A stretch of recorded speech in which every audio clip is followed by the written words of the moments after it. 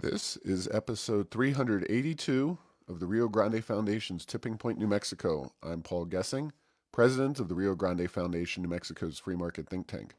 You can find out more about the foundation at riograndefoundation.org. I am very pleased to be joined this week by John Block. He is the proprietor and uh, reporter behind the Piñon Post, which is a political blog and news site dealing with New Mexico politics. Welcome to Tipping Point, New Mexico, John. Great. Thank you so much for having me, Paul. I appreciate it. Yeah. Well, uh, you've been at it for how many years now with the Piñon Post?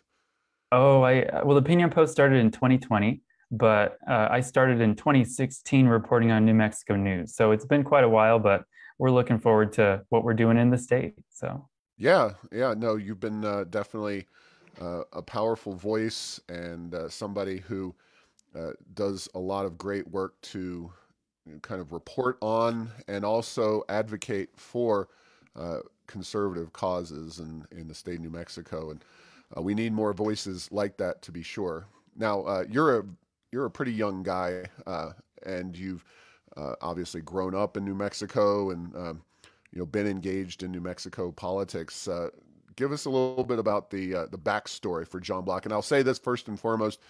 Uh, I'm sure you get this question every single time, but John Block is no relation to Jay Block, who is running for governor, right? Right. Yeah, we're not related, but you know he's a good guy. He always fights for liberty, so you know uh, it's how it is. But if people think of me as his cousin or whatever, that's fine too. All right. Yeah. So well, how, uh, how'd you get involved? Yeah, so I guess from a young age, I started just uh, in school. I always heard in college, you know, people were saying things like I didn't really agree with. And I always heard the climate change was the big issue that really turned me onto the conservative cause because they always talked about, oh, let's save the planet, let's save the planet. But then we always hear all kinds of conflicting information. So that's really where I started.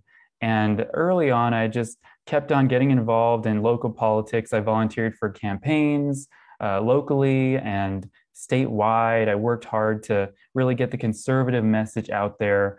And through that, I just kept on going with what I was doing in the political sphere. Uh, I volunteered on President Trump's 2015 and 2016 campaign. And that really got me fired up to keep on going, fighting for freedom. And so I, I worked for a bunch of different groups. I worked for a pro life group called Americans United for Life. I worked for a group called the Committee to Defend the President during the 2020 election cycle. And just through that, these different experiences I had working in the political sphere, that's what brought me to really fight for those issues that New Mexico cares about because we see every single day these radical left wing extremists, they keep on working hard to take away our freedoms here in New Mexico. And I thought that New Mexico didn't really have a news site or a, a news arm to get our voice out, at least online. So what I did was I started I started a blog. It was called the New Mexico Politics with John Block. And there we just worked hard to get information out about what was happening in the state, for years and years. And that finally turned in 2020 into the Piñon Post, which is now the flagship number one conservative online news site in New Mexico, where we deliver daily, constant news coverage of what's happening and those stories that you don't usually find on the mainstream media because they don't usually help the liberal media's bent. So we're the ones that look and uncover and do the research to get those stories and those voices out in New Mexico conservative politics. And I think it really has made a big difference. I think we've really helped kill a lot of very bad bills, such as at the last legislative session, years before that, too.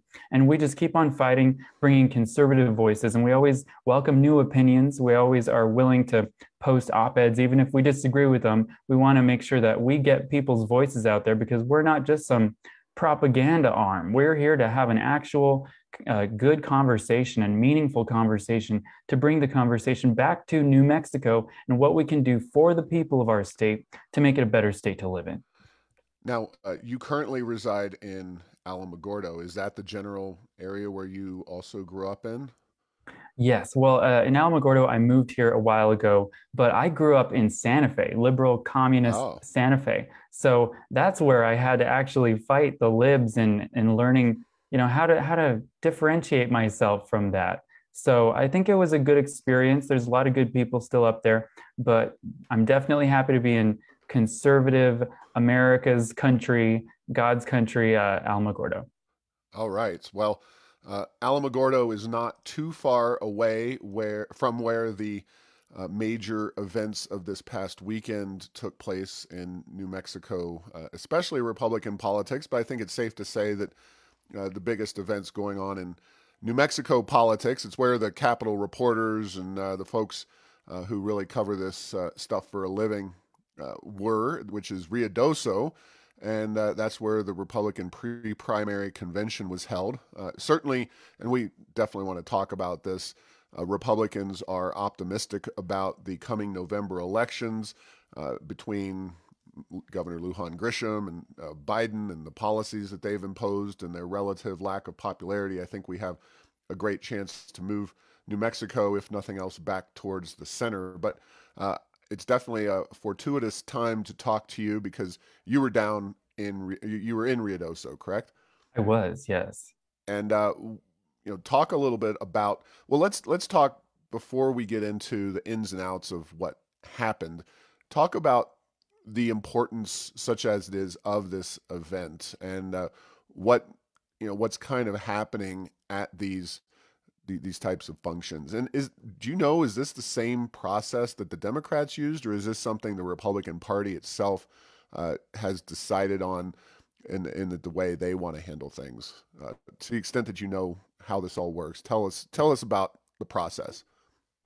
Yes, so uh, it's very similar to what the Democrats are doing. They have a primary that's actually this weekend that's in Roswell. And ours in Ruidoso, we just met to make sure that we find the strongest candidates to get on the ballot for the June 7th primary.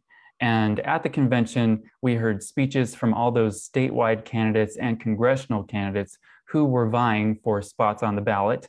And we saw different people take different approaches. And it was a good opportunity for the delegates that were elected by the people of each county to go to the state convention for the party, the Republican Party, and choose the strongest candidates they believed to go on the primary ballot. And that means get a 20% vote share of all the votes that were cast. And the people that made 20% automatically get on the ballot. Uh, now, the ones that did not meet that 20% threshold, they can get double the signatures required by the state, which I believe is 3%. So that doubled would be 6%, and they can go get those signatures. So this event, I think, is very important because it does bring all those voices together to find the strongest candidate and the most qualified candidate and the candidate that has the most support party unity behind them and that usually means money as well and we saw three candidates come out victorious number one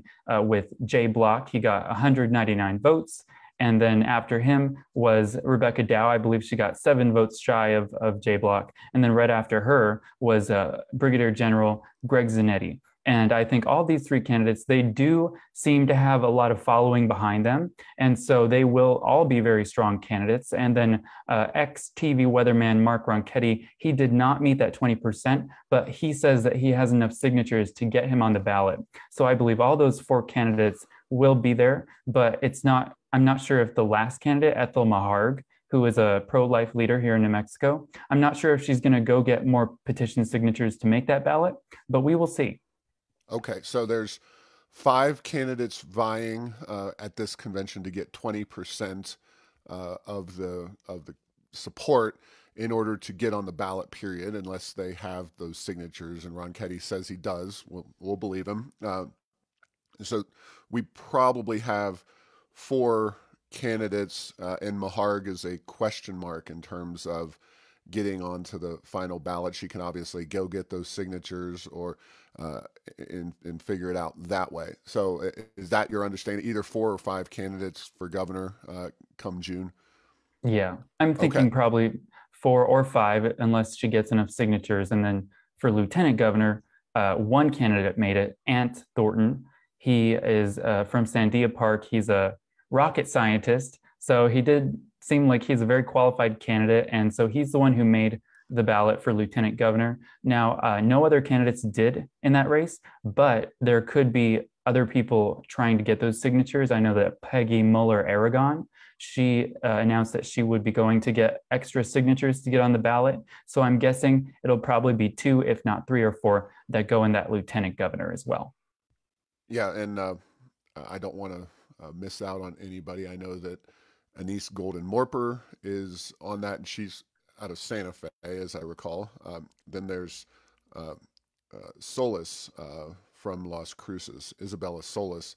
Yeah. Um, am I missing anybody on the lieutenant governor? Um, I believe uh, Pat Lyons. Oh, Pat also. Lyons, right, the former land commissioner. So, yeah. okay, well, uh, that's kind of uh, the contour of where things are shaping up on some of those races, and I definitely want to talk a little, a little bit about um, you know congressional and other uh, important races uh, around the state uh, a little bit later on. But uh, talk about uh, what happens uh, down in there, and I know that from news reports there was a very large crowd. you've probably been to several of these events in the past. How would you compare and contrast it, just in terms of kind of the crowd and the enthusiasm of the crowd? From previous years, I think uh-huh. this is probably the most I've ever seen at a Republican Party uh, primary pre-primary convention, which is great for our party. It shows that we are strong. It shows that we are really unified to come November take away the radical leftist bent that we have installed in the state through Governor Grisham. And I think this is going to be a reckoning for all those breadlines that we were forced to stand in, all the crazy radicalism that she rammed through the legislature, like the Energy Transition Act, like abortion up to birth and infanticide. And I think this November is going to be a big year for all of us because everything is on the line. And I think that's what Republicans saw going into this convention that we are fired up. There's more people than ever joining our party, and we are ready to take back our state. And I think that's really the message that we got at this convention. Yeah, uh, I, I, know folks were fired up. Now, uh, there was some talk of uh, voting troubles, and uh, can you describe the uh, process that was undertaken and what kind of had to happen? midstream um, in terms of uh, of the process. I, am not saying that everybody that I've talked to down there had concerns, but certainly, you know, media reports and some candidates were kind of less than less than thrilled at the way the process was handled. Yeah, it did get kind of chaotic there for a while. Uh, I believe at the beginning they had a online voting system, and due to a malfunction the party says they were not able to get that up and running. I think it was something to do with the congressional districts because they were recently redistricted. So people were in different districts, which made it difficult to put them in the right category to get the correct ballots. So I believe that's the issue that they really had, the little hiccup they had. So what they did is after a while of saying, oh, we're doing the technical difficulties, then they said, we will be switching to paper ballots. And in the audience, a lot of people started clapping because, you know, conservatives, there, there is a big stigma, especially right now with election fraud happening across the country. And so I think that was a good omen that everyone started doing the paper ballots. So after they announced that, there was three different doors and people just lined up at each door that they were, which was each congressional district. So I was in the second, there was the first and the third. So people lined up at the doors and people went two by two outside the doors into another room where you filled out your paper ballot uh, secretly and then you put it in a box and then you left the room and then it just happened in a cycle. So it took a little longer to get that done. And I believe it was very late in the night, about 9, 10 o'clock, when they finally finished counting those ballots. But in the next morning, they announced the, the winners of the ballot count, and it was highly supervised. They had uh, poll challengers there, and they also had party officials overseeing the process. So we can ensure that this was done correctly, and uh, especially from my party chair uh, in Otero County, Amy Barella, she uh, was there watching, and she did ensure that it was correctly counted. So I believe that there is integrity in our elections, at least in the Republican Party's one. So I think we can all be proud of the the final results that we got. Okay, well that's good to know. Yeah, I, am I'm, I'm glad to hear that at least you think the process was uh, ultimately fair and uh, and worked out. So, in addition to making the ballot, I know that uh, uh, the voting outcomes for governor and I believe for all the other races also determines position on the ballot, which I don't know how big of a deal that is, but uh, it certainly uh, is a point of pride for candidates that they have the support uh, necessary to be the number one candidate in position on the ballot. But uh, don't know how much that actually impacts outcomes. So uh, let's talk about uh, congressional races because, as you mentioned, there's been redistricting. And southeast New Mexico, especially a, a, little further south and east, has been split up. But you know, I don't want to dwell too much on the process and where where things stand. We kind of know where that uh, that situation is, but in terms of candidates for Congress uh, on the Republican side, uh, I have uh, three Republicans: um, Garcia Holmes, Jacqueline Reeve, and Luis Sanchez uh, in, in Congressional District One of course, Yvette Herrell running in second congressional district. Uh, you're down in Alamogordo, and so is she. She's from there. And then Alexis Martinez Johnson and Steve McFall running in District Three against Teresa Leger Fernandez. So, uh, all I'm sure all of those candidates were were down there. Any uh, any impressions? Any thoughts on uh, how things lined up with uh, with the various candidates running? So it seems like we have very strong candidates that made the ballot from what I heard during the convention, it seemed like Luis Sanchez and Michelle Garcia Holmes, both who made the ballot in the first district, are both very strong candidates. It seems like Luis Sanchez has a lot of support. Uh, it, I believe Whip Montoya, Rod Montoya, he's the one who introduced him at the convention, and that got a lot of applause as well. And Sanchez talked a lot about his bucking of these mandates from the governor because he owns calibers uh, the shooting range and gun store in Albuquerque. So that really got a lot, a lot of applause. And I think that he has a very good shot of taking this district back from Melanie Stansbury. And then in the second district, Yvette Herrell had a very good speech. She really fired up the crowd, talked about all the hard work that she and Republicans are doing in Congress right now, and uh, talking about the future of our state. And then in the third district, uh, we had uh, Alexis Martinez Johnson, who formerly ran in the same district. And I believe she performed, she outperformed previous Republican nominees in that district. And she made the ballot. So she will be the only one on the ballot unless Steve McFall gets enough signatures. But it appears that we have very strong candidates running in all three congressional districts. And this actually, during the redistricting process, they weakened many of these Democrats' strongholds. So, due to their I guess I have to be careful in how I say this, but mm-hmm. quest for power, uh, they kind of messed up their own game potentially because we could have three Republicans representing New Mexico in Congress come 2023 if everything goes our way during this next election.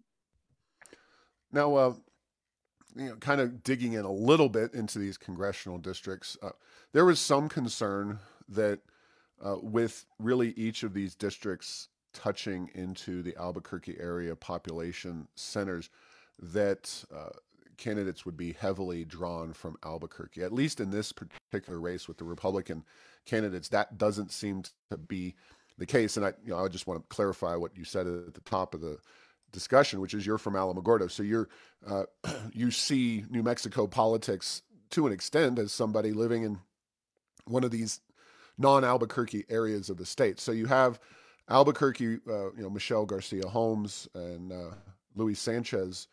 Uh, where do you know Jacqueline Reeve, where she's from uh, in CD one? I believe she's from Albuquerque, if I'm not mistaken. Oh, okay. Yeah. Right. She's new to me, uh, but I guess that's the Albuquerque scene, and Yvette from uh, Alamogordo, and then Martinez Johnson from Santa Fe. So uh, you do have some diversity there, and I, I, think that's a healthy thing for everybody in New Mexico. That you don't. Uh, I, I, think it would be unfortunate uh, and, an indictment of the Democrats' uh, redistricting plan if you have three uh, districts in New Mexico all represented by Albuquerque area uh, members of Congress. Yeah, and I think that would be a disservice, in my opinion, having three members of Congress from one state that's this very vast. We have hundreds and hundreds of miles separating everybody And having all three from a metropolitan area in northern New Mexico, I don't think that would be ideal. But I think that we got a lot of candidates from many different places geographically in the state. And I think that Martinez Johnson, for instance, I think she has roots down in Roswell as well. And that's where her congressional district now snakes all the way down the state. So I think that we will have candidates who have varied backgrounds and who can connect with the constituents in those various different places in the state due to these redistricting processes. Yeah, now, uh, I guess uh, as something of a media outlet and also a political activist, will you be engaged with the Democratic Party's convention, uh, covering that in any way? Will they let you in the door? How how does that work? That's a good question. I still have to email them for credentials. I'm not too keen on actually being there, uh, as I don't think it would be ideal. I don't even think they'll probably let me in the door because, quite frankly, whenever I send an email to the governor's office, for instance, I have not got a response once. So I highly doubt that they're going to let me okay. into their convention to cover it.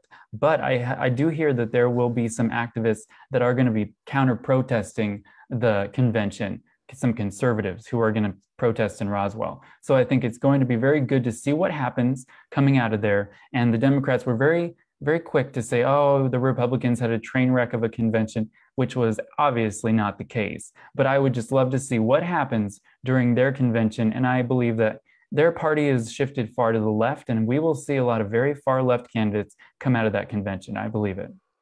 Yeah, and uh, you know most of them are already predetermined. I mean, the, the Democrats do control uh, most of those uh, seats around New Mexico, but since you are in District Two, uh, I figured I would ask you about that particular race. Obviously, the district's changed a lot. It's uh, now uh, much more um, you know, of a swing seat, even slightly Democrat favored.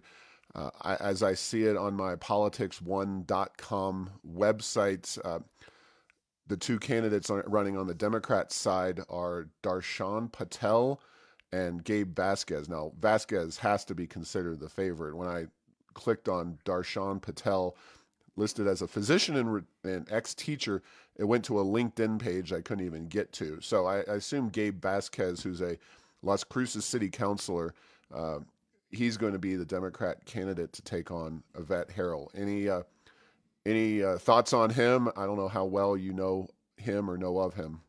Yeah, so when he announced, I did some research on who he is as a person. I've seen him previously on social media talking, but he is very far to the left. He believes that the United States is a white, nationalist, racist nation. So, just starting off there, he's not going to be the greatest asset we have in Congress if he gets elected.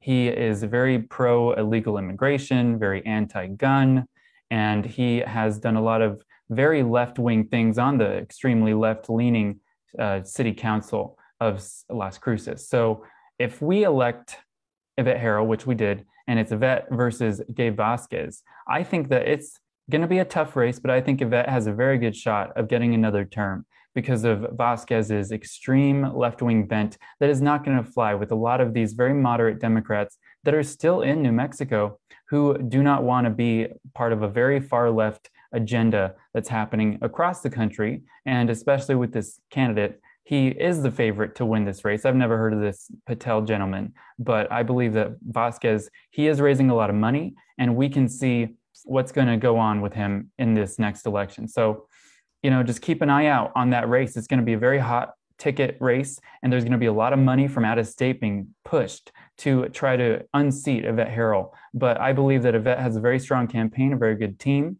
and I believe that that's going to be hard fought, but I believe Yvette should prevail with the right message.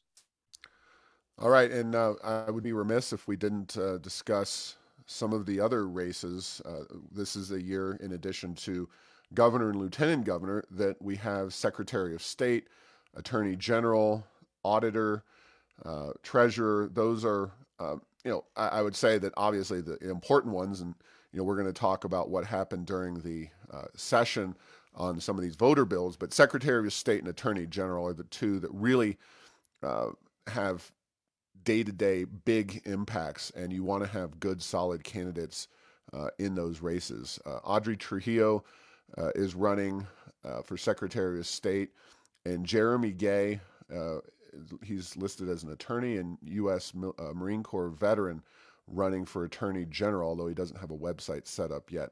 Um, I'm assuming both of those candidates were in uh, Ruidoso, and uh, you got to meet or at least uh, hear them speak. Any uh, any thoughts on both of those folks? Yes. So Audrey Trujillo, she was there. She gave a very quick speech. It was very good. And I think she has a lot of support behind her. She got a lot of applause, and people know her because she's done a lot of rallies and freedom freedom protests across the state. And so I think she's a very strong candidate just in that regard. She's actually shown up, she's been there, and she has fought against this radical left wing agenda, including I've seen her testifying at the legislature against the crazy radical election fraud bills that the governor and the Democrats have proposed. So I think she has been there. She's worked hard, and I believe that she is a very strong candidate. Uh, Jeremy Gay, I don't believe he was at the convention, but I believe he will be a strong candidate from what I hear. His background of service in our nation's military, and then his knowledge from being an attorney himself, he can be very strong against whoever they nominate on the Democrat side, who is either Brian Colon or Raul Torrez, two very far left uh, wing politicians. So I think that if we can talk about the issues that matter to us, making sure that our justice system is very quickly expedited so that we can get justice for families that need it. I think that's really going to be what's key in that race.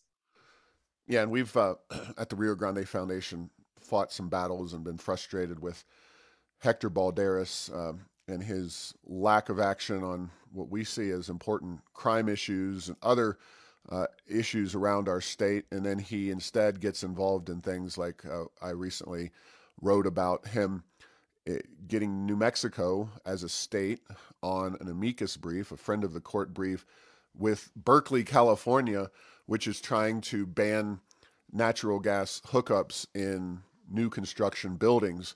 Uh, he has the time and inclination to uh, jump on board with uh, radical left wing uh, town like Berkeley, California, which is uh, trying to you know go down the path of very very uh, left wing policy that also would happen to hurt New Mexico because we're a big producer of natural gas. Uh, you know, that's what Balderas is spending his time doing. But I have heard more than one person say that you know Raul Torrez, and it's no secret that he is uh, a project of George Soros. Uh, you know, I'm not going to say George Soros is hiding behind every tree and bush, but uh, Raul Torrez is definitely a, a Soros acolyte. Uh, having him in the Attorney General's office would be an extremely dangerous proposition. I'll, I'll say that very clearly. Yeah, you're right. He has a lot of money behind him from George Soros. And we all know, unless, well, those who don't know, George Soros is very radical left wing individual billionaire who has donated to just about every far left cause around, including in our state with many dark money organizations. And those organizations have been working overtime, at least at the legislature and across the state, working to enshrine left wing policies that would hurt New Mexicans, that would tax us even more, and would really make working families the brunt of every single policy that's enacted. So if we put Raul Torrez in that position as Attorney General, I cannot imagine the havoc and the pain that New Mexicans will have to go through because going under the current Attorney General, under Balderas, we have seen what far left policies will do to New Mexico. Imagine someone who's not only a radical leftist, but a radical leftist activist who is funded by a billionaire who has unlimited resources to do whatever it takes to ram far left policies down our throats through the Attorney General's office, which is supposed to be the chief law enforcer of the state. Imagine the crazy that is going to go on with that. So, in my opinion, he would be the worst, but Brian Colon, he is a far leftist and he has been peddling that same bandwagon of crazy left wing extremism. So we have to watch out for both these candidates, which is why we need to get behind this Jeremy Gay. At least Republicans must. Got it. All right. Well, let's talk about the session and thank you for your insights and information. It's very helpful as we head into June and then ultimately November.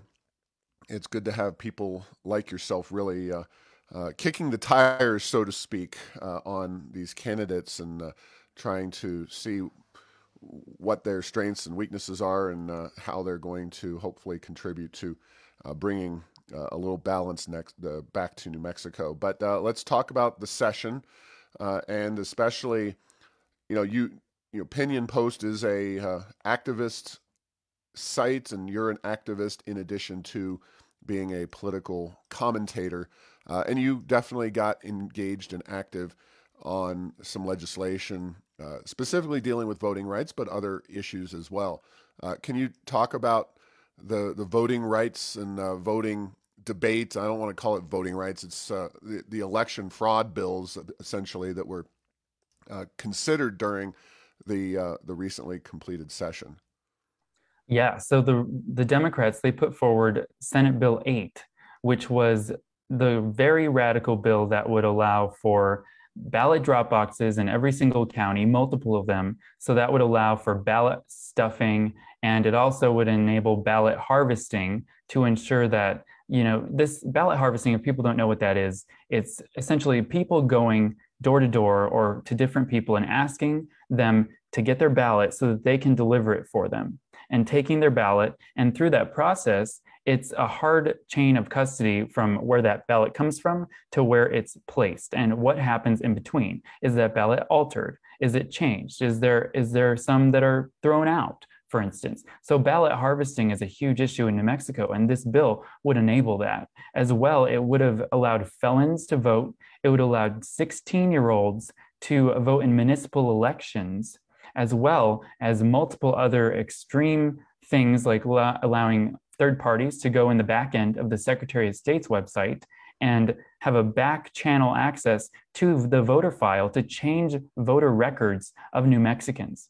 And so this would really harm people's security of their ballots and their information, as well as make sure that we become the Wild West of voter fraud. And so this bill, it kind of stalled in the Senate, Senate Bill 8. But a previous bill that was just about election, I think it was about making uh, really felonies. quick uh, wasn't sb8 also the one that um, originally and it went through many iterations but it also had and i you may have said this but uh, that you could have mail-in votes mail-in ballots collected and uh, counted as late as the friday after the election uh, yeah. with, with, that was in that bill as i recall the original iteration it was you're right yeah. okay and so you know we could potentially change the outcome of an election by you know, putting a ballot on election day and it gets there by Thursday, boom, you know, I just changed an election mm-hmm. result by right. putting in an absentee ballot. So you're right. It would have been very harmful. And that wasn't the first bill. You're right.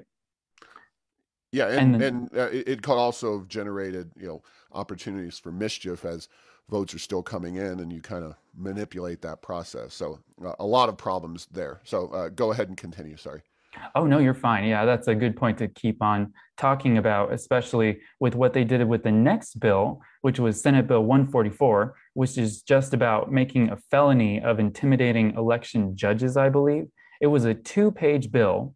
And uh, two days before the end of the legislative session, the Democrats in the Judiciary Committee decided that they wanted to amend that two page bill with 165 pages of text that would add all of those bad provisions that were in Senate Bill 8, as well as another bill, Senate Bill 6, and it would add all these horrible provisions into this extreme 165 page bill that was previously just passed by two pages. So this bill that was not very controversial became extremely controversial. And so they rammed that bill through that Judiciary Committee with only 30 minutes of testimony from each side. And then after that, it went to the House floor. It was rammed through after three hours of debate, and then it was put to the Senate side.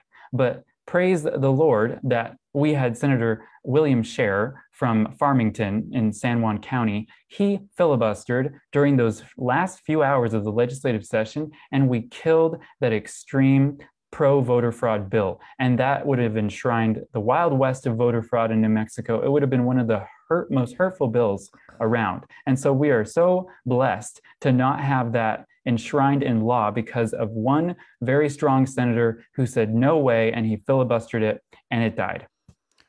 Yeah, and just to also be clear, this uh, was a top priority of the governor.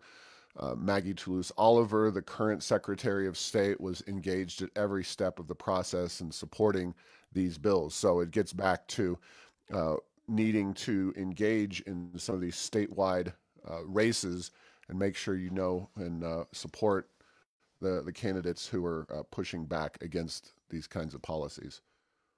You're right. Yeah. And especially the other priorities that they had during that legislative session, these were other priorities of the governor, such as her hydrogen hub bill that died immediately when it got onto the, I think it was one of the House committees. And then it got revived in a dummy bill in Senate, I think it was House Bill 227 that it got revived in. And then it died again by a vote of no confidence, essentially, in that committee. So we saw that that other proposal died. And then she had a bunch of anti gun bills. There was House Bill 9, which would force you to buy a lockbox for your firearm unless you don't, and then you become a felon. And then there was another bill, I believe it was House Bill 146, I believe, or I'm sorry, 156.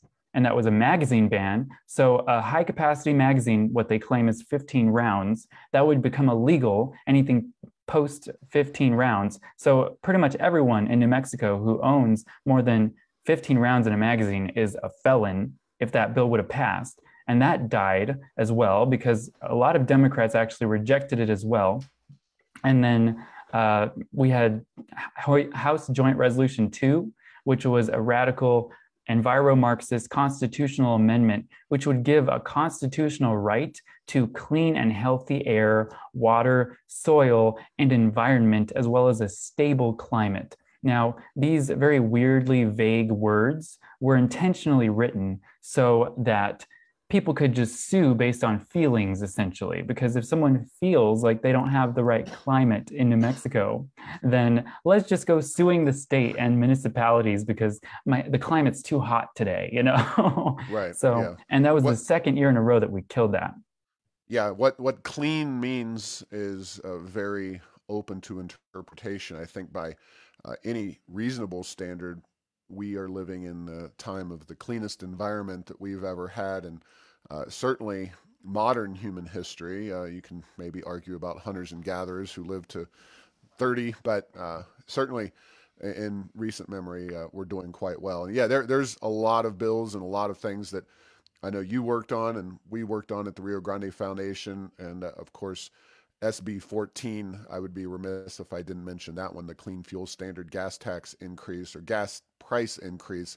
Uh, and then that was uh, also added in with the, the, the last second attempt to keep the San Juan generating station open, and that one failed on a tie vote on the House floor in the waning hours of the session as well. So uh, I assume you uh, share my general belief that it could have been a heck of a lot worse this particular legislative session and the activists uh, that showed up and uh, got on Zoom and talked in committee hearings uh, made a big difference. And uh, and it, it, you know we'll see where things take us in this election. But uh, it was a it was a uh, good or at least a helpful session to kind of unify people fighting against these bad policies. And hopefully moving good policy forward in the not too distant future. I agree with you. I think I would be I would dare to say that we had a successful legislative session by all the things that we killed by the people working hard alongside you and your group as well as my organization working hard to get the message out to people and what I've done through the Piñon Post is really try to open up the legislative session to the people because usually people think, oh, you know, uh, waiting around the Capitol to go into a committee hearing room to talk about X or Y, you know, mostly lobbyists are the ones who testify on bills, usually.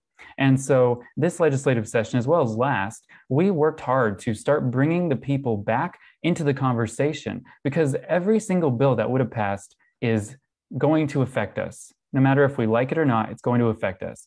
And we made a lot of strides here. We send out tens of thousands of emails. And through the process of even going on Zoom, we heard the voices of New Mexicans actually talking about the issues they cared about and where they're coming from if these bills would have passed and what it would have meant for their communities and for their families. So this was a very successful legislative session, except for a few bills, such as the governor's $8.5 billion budget that put free college into effect that gave us $10 million for enviro-Marxism and $300,000 to hire an anti-gun activist to learn how to take away our guns. That was one defeat that we did have, as well as the free college bill.